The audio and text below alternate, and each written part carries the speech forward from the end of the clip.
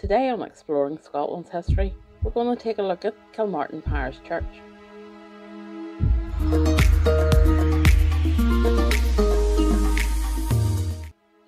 What we see today was designed by James Gordon Davis, who also worked on places like Kilmory Castle and Duntrune. It was built in 1835, although earlier churches have existed on the site. Kilmartin comes from Saint Martin of Tours, a 4th century saint, who St Columba honoured at Mass on Iona. This is the War Memorial Gate of the church. Interestingly, it's dated 1919, a very usual thing in Scotland after the war. The Scottish recognised 28th of June 1919 instead of the 11th of November 1918 as the end of the war. So the Scottish believed the signing of the Treaty of Versailles ended the war, and a lot of other people think it was Armistice Day on the 11th of November.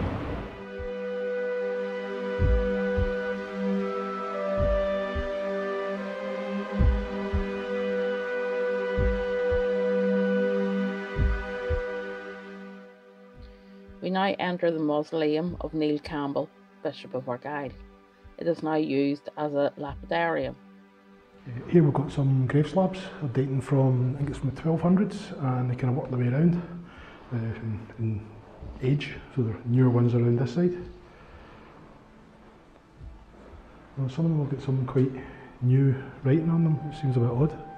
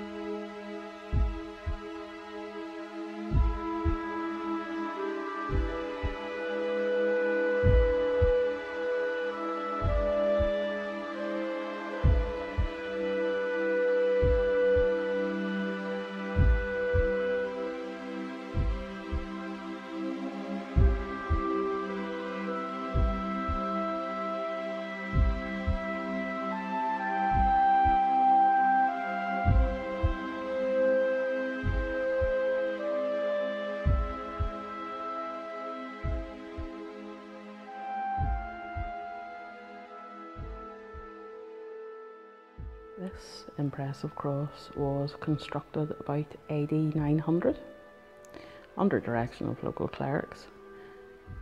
Very intricate designs. At some point one of the arms has been snapped off. This is one of the most magnificent medieval stone crosses in the West Highlands. Carved in 1200. One side is the robed Christ and the other side is the crucified Christ.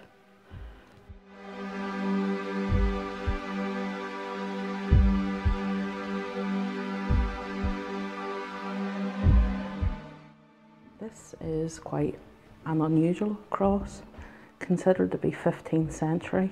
What is unusual about it are the little scrolls at each side to hold the cross up. The style of stonemasonry has been attributed to the stonemasons of Loch Awe at the time.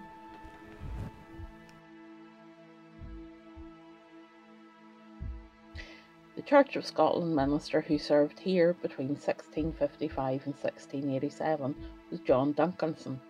His son, Major Robert Duncanson, was a key figure with the Argylls at the Glencoe massacre.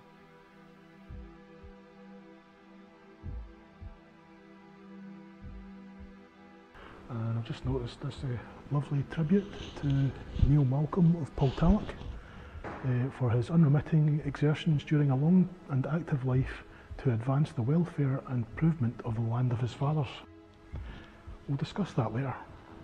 The church is quite plain inside, but up here we have the Malcolm of Poltalloch loft. Hmm, it's funny how the lairds had to be lofty compared to everyone else. Oh well.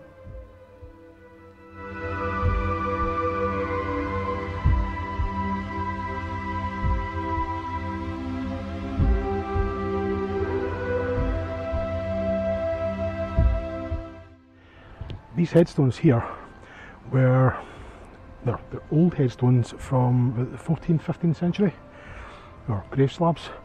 Uh, after the Malcolms bought this area from the Campbells in I think it was 1827, uh, they took a whole bunch of these old uh, tombstones and marked them up as Poltalloch after their estate. Who they, whose they were originally, we don't know.